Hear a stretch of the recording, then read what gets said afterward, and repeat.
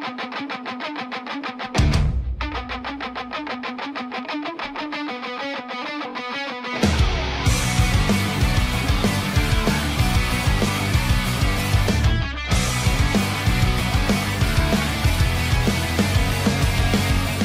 Sanremo 2022, la prima serata del festival più amato e discusso d'Italia, eh, ma sicuramente l'amore ha vinto sulla discussione. La prima serata si è chiusa con il 54% di share, 11 milioni di telespettatori. Amadeus ci ha proposto un bel viaggio variegato nel mondo della musica, ma il festival non è stato scevro da errori e scelte incomprensibili. I punti forti della prima serata, il tributo all'immenso poeta Franco Battiato, i Maneskin che ritornano sul palco di Sanremo come ospiti internazionali belli, sensuali e sessuali in pelle nera per zitti e buoni, il brano che li ha portati sul tetto del mondo, eleganti e sofisticati in taglier per coralline. Ma al di là di questo stile camaleontico e sempre vincente, è l'artisticità di questi ragazzi che, che, che colpisce e che fanno capire quanto stanno nel gioco. Si pensi alla commozione di Damiano alla fine del brano Coralline. Bella anche la parentesi elettronica dei Medusa.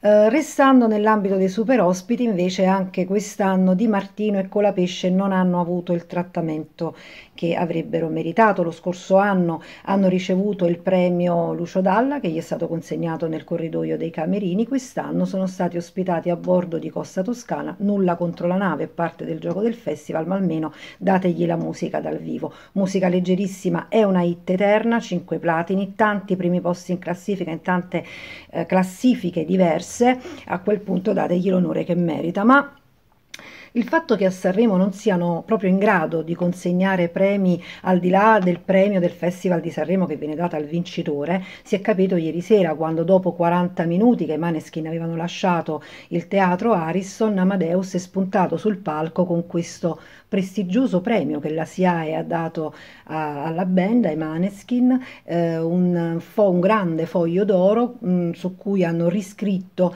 la prima canzone che i Maneskin hanno depositato. Sarebbe stato bello avere una foto ricordo su quel palco. Ci auguriamo che questo premio sia stato dato ai Maneskin prima che lasciassero Sanremo, almeno riescono a farsi una foto nella città che ospita il festival.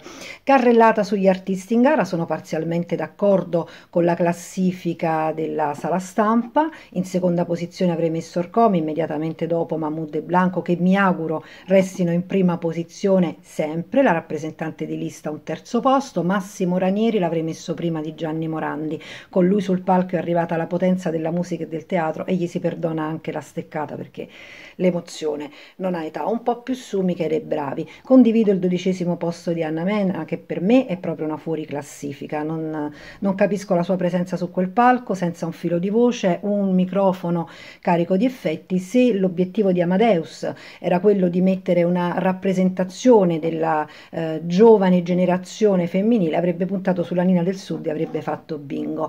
Non ho capito che problemi ha avuto Giusy Ferreri, ha cantato malissimo, non so se era senza voce o le hanno tarato male il microfono. Mi delude un po' Achille Lauro che in realtà mi piace tantissimo, la sua domenica sembrava una Rolls Royce un po' sottotono. Eh, D'Argent Amico mi è simpatico, però mi ricorda un po' Tricarico e a me non piacciono i rimandi artistici. Eh, Noemi con uh, la sua Ti amo, non lo so dire, poteva essere più potente. Human in undicesima posizione ci sta. Uh, il Festival di Sanremo 2022 mi dà l'opportunità di unire i miei due grandi amori, la musica e i libri.